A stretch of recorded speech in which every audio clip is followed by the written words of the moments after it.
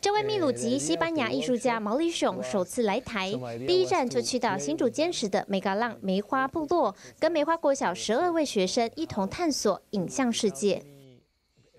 孩子们走进山林，使用手机拍下部落周遭生态环境，也试图还原长辈们口中日据时期的历史故事。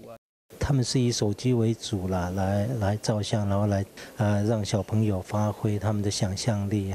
啊，这样就会往往他们就会去想到自己老人家曾经对他们讲的一些故事。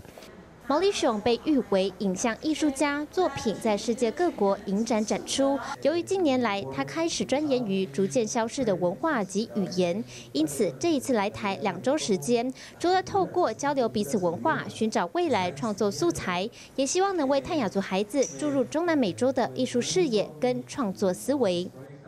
Bueno, ahí primero era un grupo muy distinto, eran más pequeños, eran niños.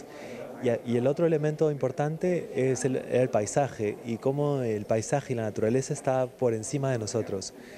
Justamente eh, en ese proyecto que trato sobre, sobre las culturas suprimidas, un tema importante es la naturaleza. Y para mí lo que más me influenció fue eso, la naturaleza, vivir tan cerca de la naturaleza. El sonido, el color, el olor y cómo eso afecta y cómo eso de alguna manera define o, o modela una cultura.